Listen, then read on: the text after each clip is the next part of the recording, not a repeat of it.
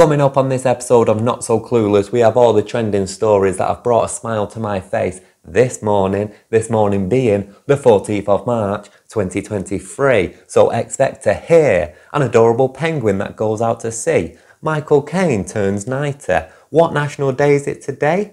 What did they eat at the Oscars? And Huy Quan's adorable Oscar winning speech. That's all what we're going to be talking about today because the world is filled with, quite frankly, depressing news and I'm tired of it. So we're going to be flipping that on its side. We're going to start off with the adorable penguin story. This comes from Reddit and I won't call it necessarily trending of today, but hey, 19 hours ago it was uploaded. 45,000 upvotes and it's titled Little Penguin makes a difficult decision to embrace independence and adventure to the vast ocean. And it is just an adorable way to start your day is to watch this little video.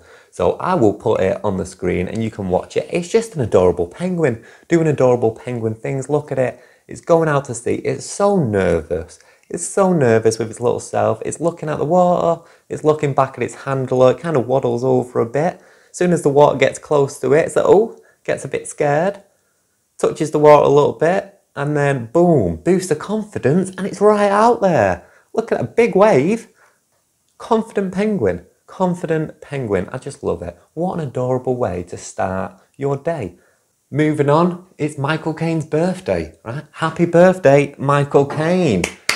90 years old today. Would you believe it? What an absolute hero. What a legend.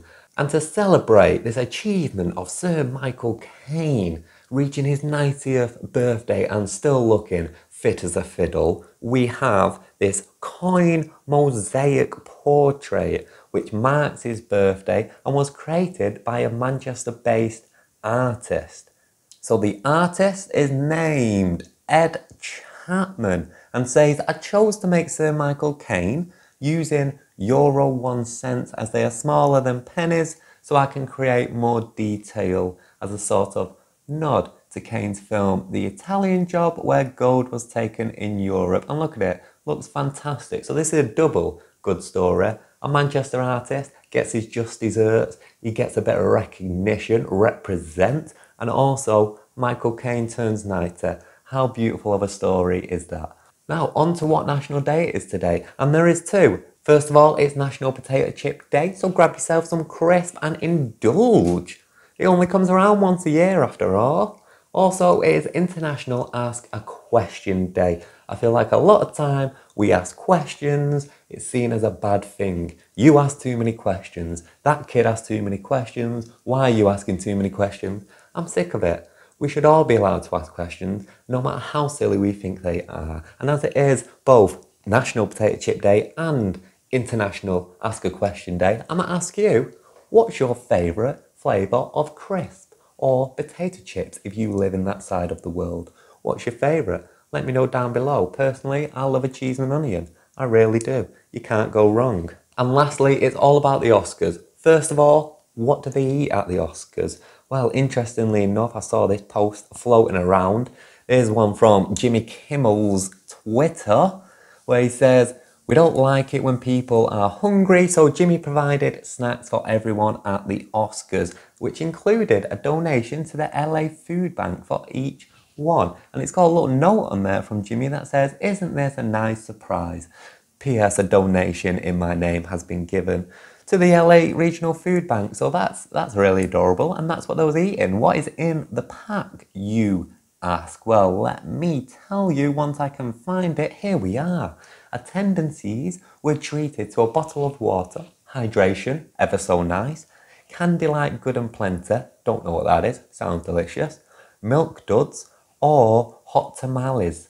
I've never had a hot tamale, but I understand that it's quite a popular American treat, a confection of American descent of some sort. But I've had a milk dud, and that was nice. And it also had a soft Philly style pretzel from actor Adam Shapiro's Shappy Pretzel Co., which looks absolutely delicious. And you even got some photos there of delicious cards for the Oscar audience being mixed up. Thank you, Shappy Shaps. Look, it looks delicious. That's what they were eating. And the final story is just that of Huy Quan's Oscar speech, which was absolutely adorable. I don't think I can play it, but you've probably all seen it now.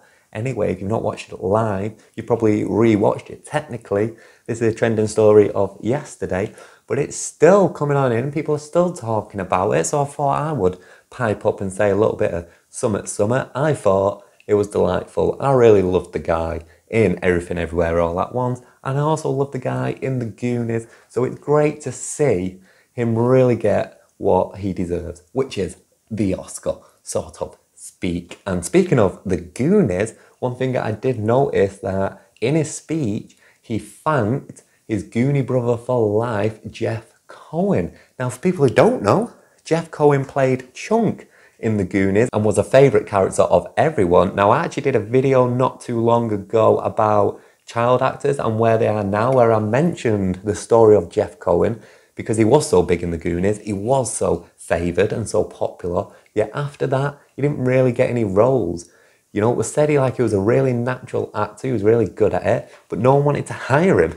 Partly because he was so successful in The Goonies, partly because he grew up. But he kind of took that in stride and he went to law school, he got his degree, and instead he started working as a lawyer for the entertainment industry. And here's where it gets super interesting is obviously they were both in the Goonies together, but Jeff Cohen is actually Quan's lawyer and negotiated his deal for everything everywhere all at once. So it all comes around, which is why he thanked him. And we even got a picture of both of them together, which I'll put here. I'll also try and get a picture of both of them when they was in the Goonies. So the way it came around is just absolutely amazing and just a nostalgic thrill for everyone just to know that Chunk himself was involved in negotiating his part in everything all at once, which is just a delight. And they're my favourite stories of today. Not that much in the good news